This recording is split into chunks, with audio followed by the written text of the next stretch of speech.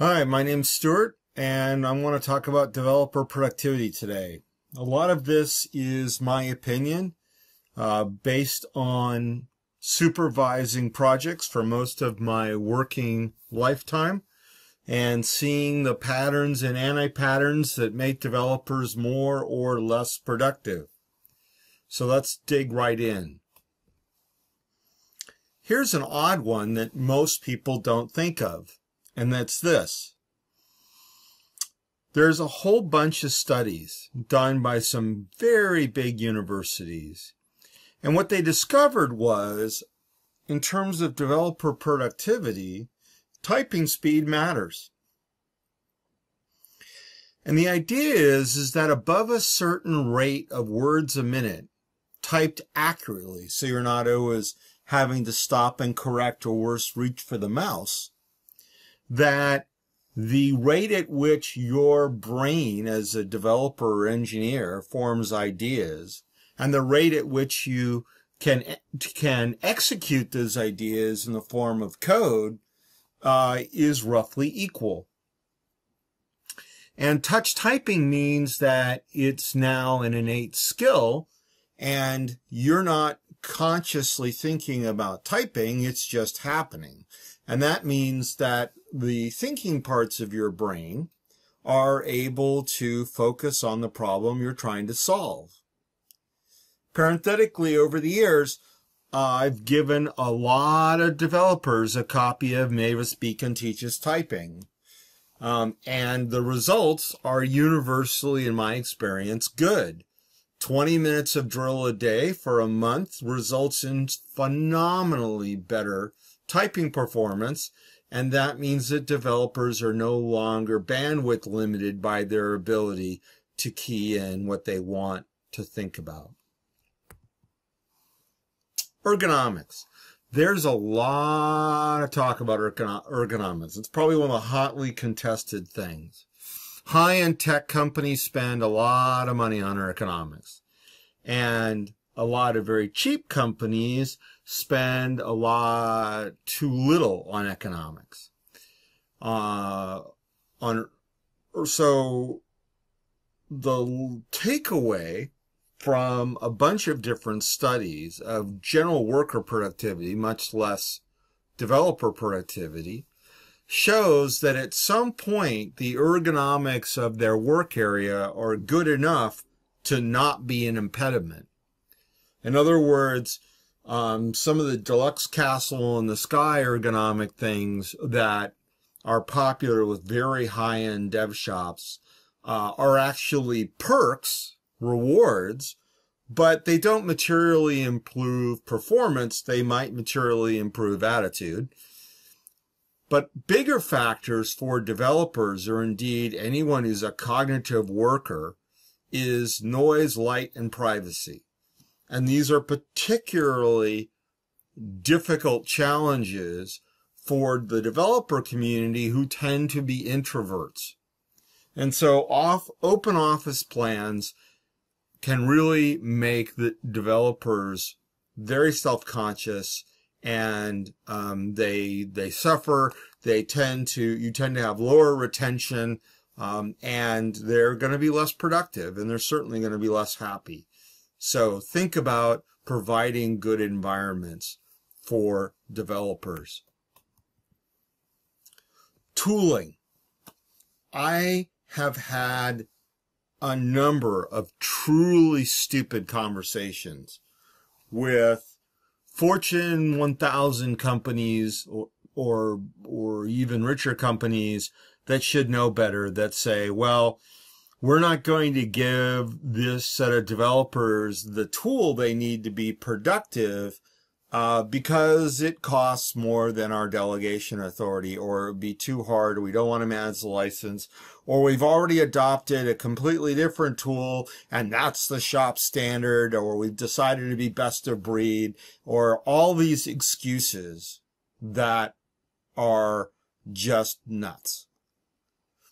So the right tools with a degree of mastery lead to Im- improved productivity, but the lack of good tools and or tool mastery absolutely subtracts hard from productivity.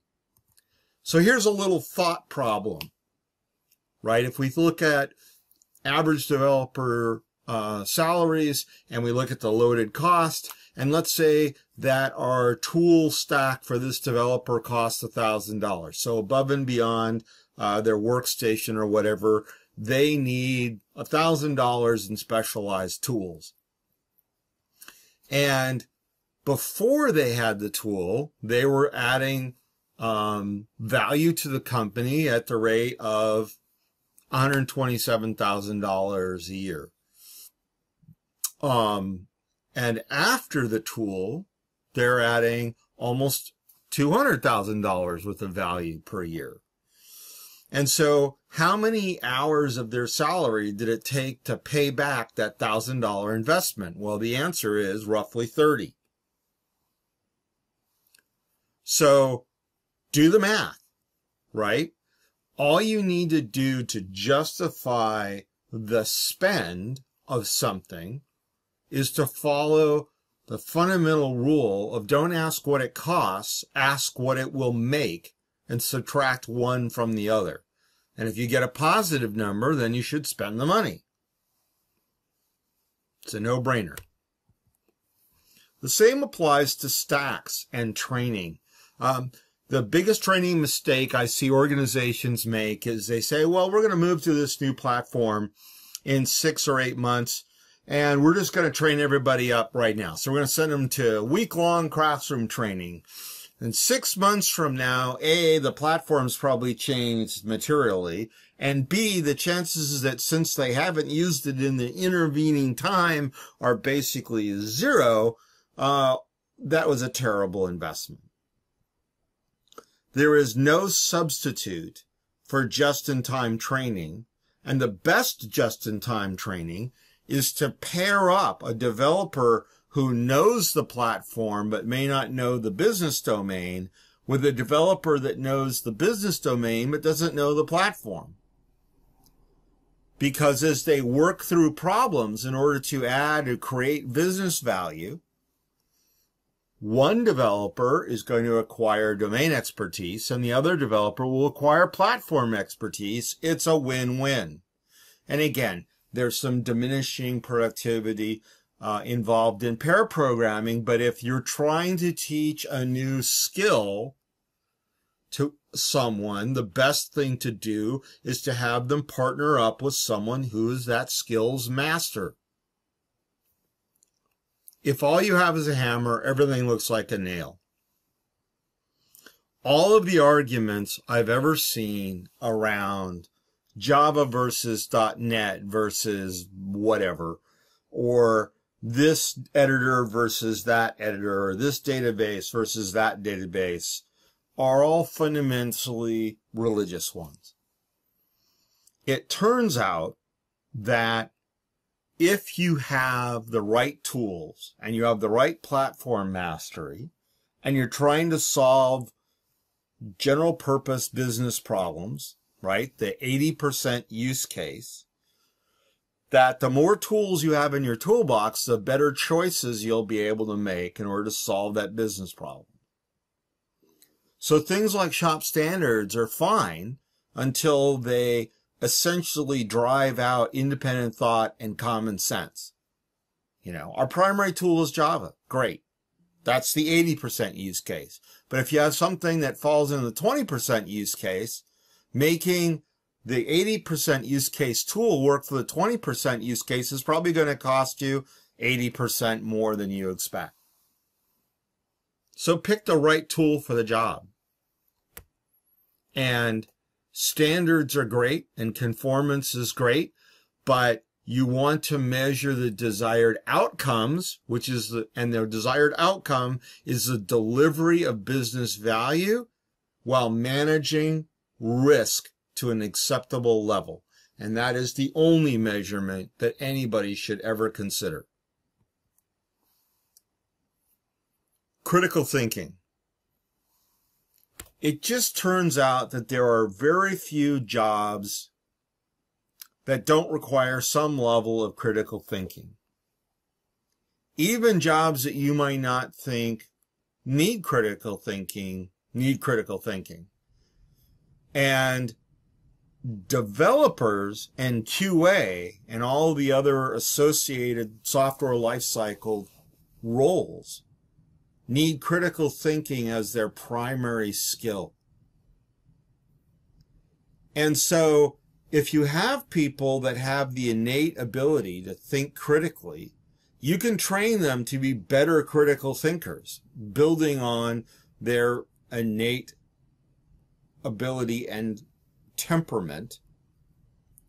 But for the majority of individuals for whom critical thinking is a bar they can never reach, it's probably not useful to have them in a role which requires the deep introspection that typically being a developer or a QA or a BA or a PM requires.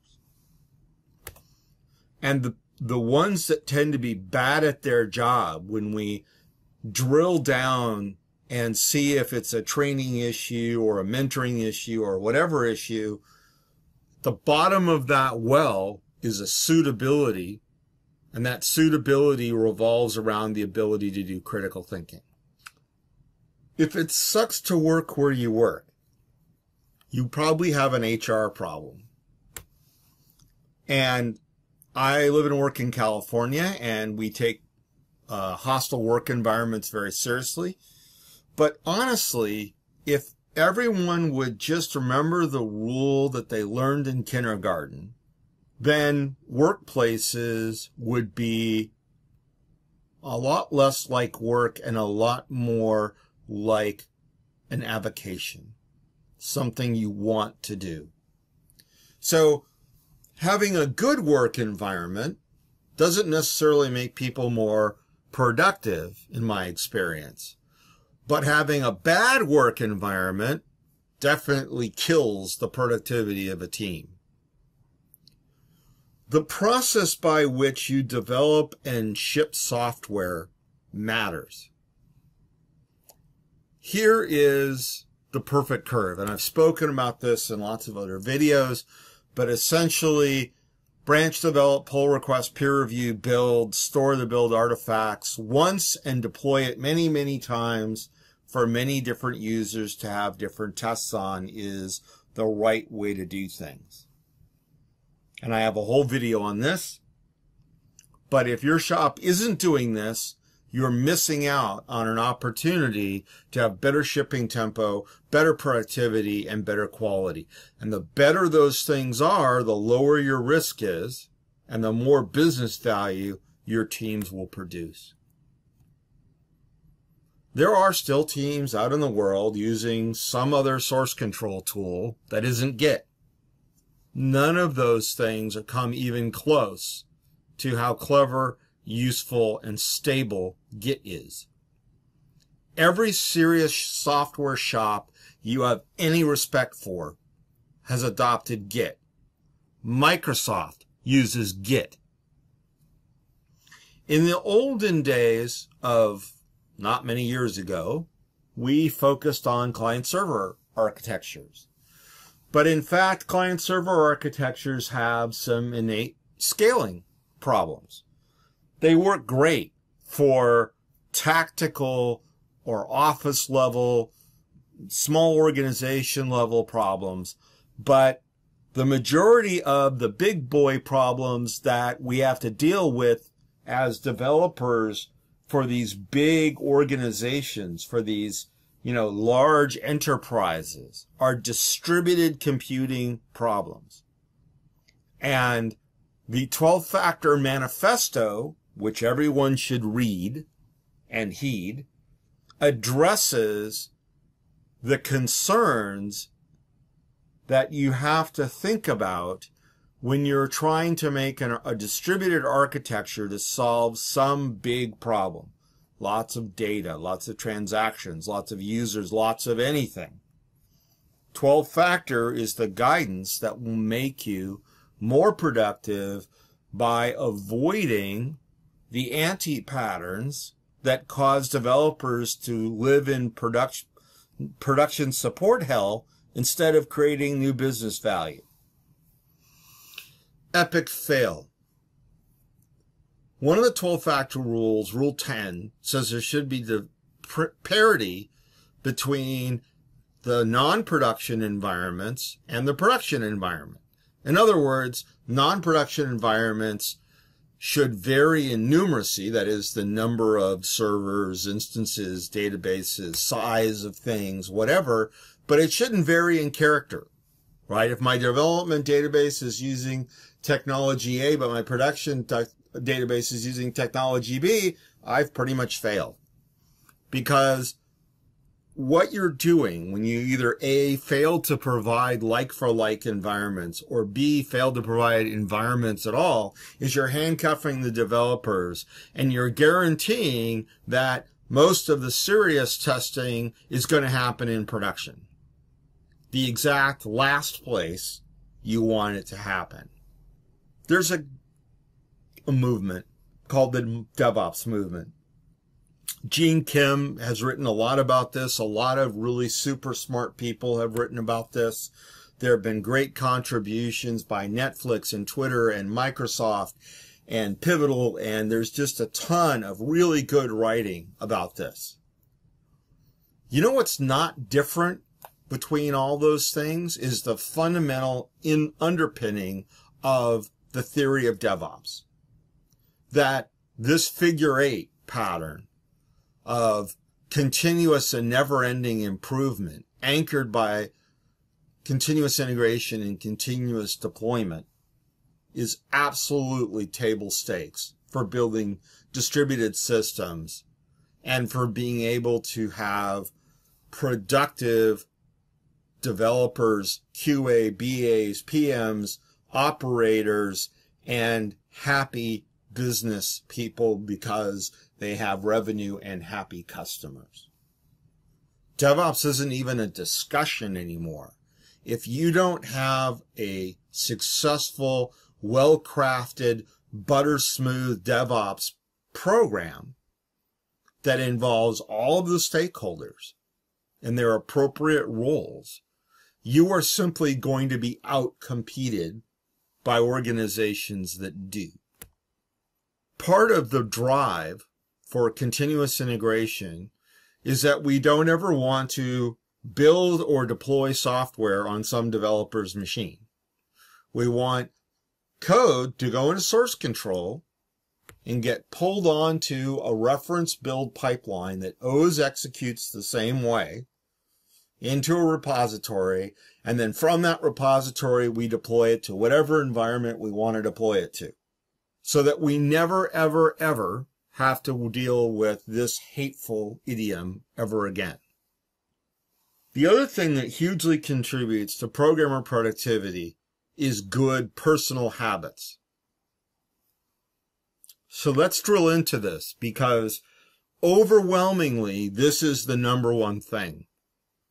It's not a tool, although I'm using Git heavily here because, well, you should, but it's about habits, about good habits that all successful developers have, right? You start by picking a story. You read the story. Is the story ready? No? We're not working on that story. Is the story small enough to do in a reasonable amount of time? And what constitutes reasonable amount of time varies from team to team. But I'm here to tell you if it's longer than three days, it probably needs to be split into smaller stories. Make sure that before you start coding as a developer, you have the latest code, right? So if your if your main development line is the develop branch, you want to go into the develop branch, do a git pull, and make sure that you're starting from the current baseline make a feature branch, switch to it, and then do a cycle that goes code a little, write some tests, code a little, write some tests, code a little, write some tests. And that whole cycle in the purple boxes, right, should be 15 minutes to half an hour at the outside. And when you get to a recitative, right, a place where you've kind of coded up to a certain place and the tests pass and it does something useful, then you should do a commit and a push. And you'll notice there's an angel wing attached to them and I'll explain why in a minute. And you keep doing that until you think you have enough for someone to review. And then you make a pull request. And people review your pull request. And if your pull request is shiny, your code gets folded into the active branch. And then you go back and you pick another story and you repeat. And if people have comments about your code or suggestions about your code or just plain old reject your code, then you go back to coding a little, writing tests, etc., etc., and you keep doing that until either A, they fire you for incompetence, or B, they look upon your code with love and continence, and it joins the great river of code of goodness. So, in a day, you may or may not have finished an entire story. In a week, you may have done one story, two stories, three stories, ten stories, right? Some of the stories are bugs. Some teams treat bugs as stories. I like that. But you'll have repeated the light blue purple box cycle over and over again. And You'll do it over and over and over, and you're done with a story when your pull request is accepted. And then you can go and start the next one. And you want things that are small enough that your pull request will be shiny. Let me point out that successful teams often figure out a way that for a story, the the first approach might be that there's only one pull request, the one at the end, the ultimate. But it turns out that if you're good at refactoring or you're good at adding features in such a way that don't break the world, or you're fixing a bug, or a set of related bugs, or you're doing a set of related refactorings and you can do them incrementally, that you're far better off doing your story as a series of pull requests. Before we get there, though, the reason that we want to commit as we're working in Git is because that basically functions as a place you can undo to. And the reason we want to push that commit to your feature branch in the sky, the origin, is in case something awful happens. What we call a negative bus interaction. You got hit by a bus. Before you leave your desk, commit and push. Whether it's going for a bio break, going to lunch, going home, going to a meeting. If you are leaving your desk, do a commit and a push. Remember, committing and pushing doesn't put your code into the main develop line. There's 0% chance you'll mess somebody else up, right? Because you're not working in the main develop line. You're working in your feature branch. You're creating intellectual property on behalf of your employer. You owe it to them and your team, fellow team members to make sure that that code is safely ensorcelled in the sky. Okay, back to peer reviews. So for a story, why have multiple pull requests, you ask? Here's why. It's way faster to review a series of small pull requests that move the ball towards the goal of finishing the story. And you're much more likely to get three good things. Number one is if you're starting down a path that may not be optimal for the problem you're solving, before you get too much invested of that, and you know, by invested I mean you're spending your employer's money, you'll get a chance to get peer feedback. Here's my approach. Here's my class structure. I haven't implemented some of these methods yet, but this is how I'm going to lay it out. And we're going to be respectful of their time because now they're looking at seven files, 300 lines of code at most, and are able to very, very quickly look at your code and say, yes, you're going in the right direction. And yes, you seem to have some, some tests that are intelligent. Don't test stupid stuff. And you're taking a risk-based approach to your testing, which is a different video. Instead of having these massive pull requests with hundreds of changes, which I'll be honest, no one on your team is going to have patience for, which means either your stuff's going to get dumped into the, into the main branch, um, or it's going to chew up a lot of CPU time as the CI build kicks off if you're using the gated build uh, process, which some teams do. But either way, you have forfeited the opportunity to get early feedback and keep getting incremental feedback by asking for five minutes, 10 minutes at a time from your peers who may have really great ideas and they'll be more willing to treat the peer review process seriously because you're being respectful of their time and the quality will go up and your productivity will go up because you're reducing the scope of rework because multiple pull requests for the same story break the story into smaller chunks. And so you're going to have productivity because if you start down a path that maybe is a little less optimal, your peers will be able to spot it and help you out. And programming is no longer a solitary sport. It's a team sport. And we, like a rising tide lifts all boats, peer reviews and pull requests are the mechanism by which everybody gets better. Reading someone else's code may give you ideas for solving the problems you've been assigned. And giving constructive, respectful, productive feedback to others lifts their skills, builds camaraderie. And if you don't believe me, go ask anyone who's ever served in the armed forces. Story quality couldn't be more important as a driver of programmer productivity. If you think about that flow that we looked at earlier, right? First thing on the checklist after reading the story was, is this story codable and testable?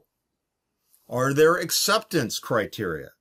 Is there, um, you know, depending on the style of story that your team writes, do you have the data it requires to understand what the user's goal is at the end of this story?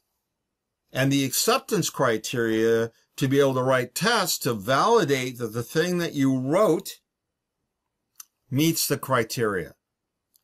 Badly written stories are a drag on everyone. And a culture of poorly written stories results in bad outcomes, not building the thing the business actually needs, not ever finishing anything, not having good quality, having things go over time, over budget, which is generally the same thing. Right?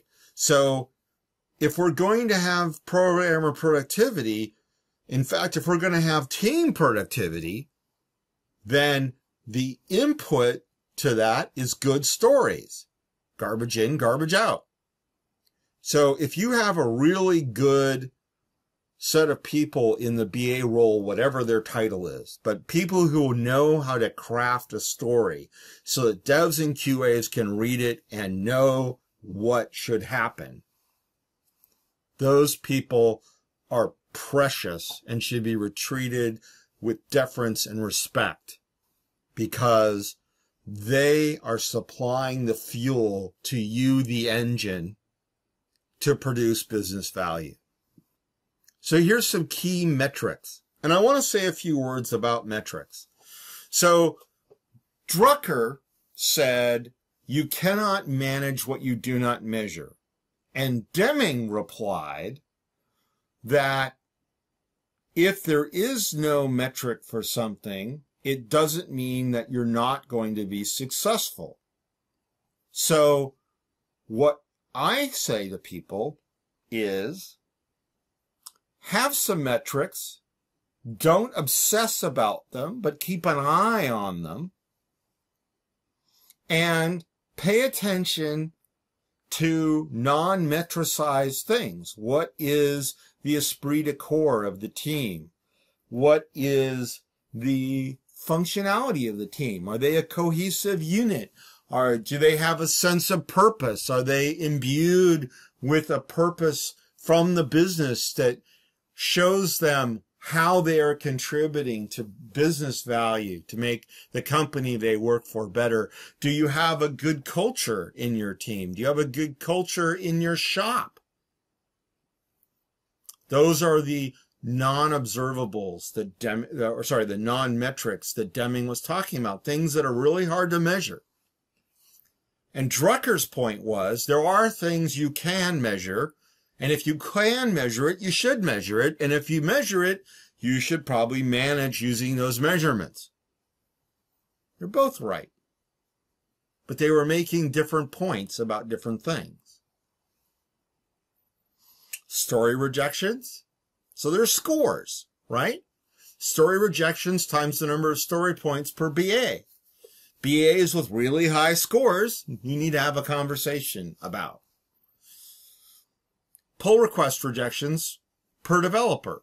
This is a tricky one because they're always, if they're doing it right and you're doing a series of incremental pull requests, there may be some rejections in there. So you shouldn't obsess about that. But if their metric is significantly different than the rest of the teams, especially if it's worse, then maybe there's a mentoring, training, whatever opportunity there. And maybe there's an opportunity to introduce that individual to the environmental economic opportunity pool. Um, bug points, right? We take the count times the severity. You can use a sliding scale. You can use um, Fibonacci sequence. Doesn't matter as long as you rate bug points the same way for ever, for all roles people with really high bug counts or bug point counts, right, are not being diligent enough in writing their tests or they're being deliberately obtuse about interpreting the story or whatever, but there's something wrong. Ditto people whose code doesn't play well with others, build failures. Now, everybody's going to have a, uh, is going to break the build occasionally. Sometimes you and somebody else will merge some codes and while they merge together, it turns out they just don't want to cohabitate and it's okay as long as you then get together and go, okay, what should we have done? And you fix it right now, right? Build failures are the number one thing you should fix in your shop. You want to measure velocity and you want to compare their velocity to their rejections and bug points. So you have developers with incredibly high velocity, but their bug points and rejections are really high too. And they break the build a lot. You need to talk to those people. I will take consistency over velocity every time. Give me a developer that can grind out 10 story points a week with a very low bug point count and a reasonable rejection count over the the uh, developer who's a hamster on a wheel and is just coding themselves up a, a, a, a nest of bugs. Keep an eye on how good your QAs are, right? QAs that find lots of bugs are are gems because they're thoughtful about testing. Lazy QAs don't file bugs. Just because it's a bug doesn't mean A, it's going to get fixed, because that's a business decision, and B, that somebody did something wrong. It just means that the developer and the QA may have read the story differently. And what they need to do is go back to the BA or the proxy for the program and say, we had different thoughts when we read this story. Which one did you intend? Here's the pros and cons, right? Have the conversation, be a human.